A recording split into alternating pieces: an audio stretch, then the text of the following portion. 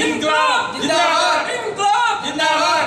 विडोसन जिंदाबाद। विडोसन जिंदाबाद। चाहे जो मजबूरी हो। हमारी मांगे पूरी हो। चाहे जो मजबूरी हो। हमारी मांगे पूरी हो।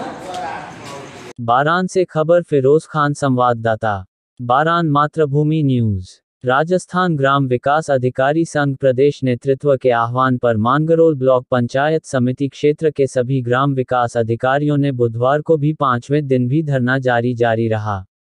राजस्थान ग्राम सीसवाली से खबर फिरोज खान संवाददाता। राजीव गांधी ग्रामीण ओलंपिक हॉकी प्रतियोगिता के तीसरे दिवस पर प्रथम मैच के अतिथि प्रधानाचार्य राजाराम मीना रहे।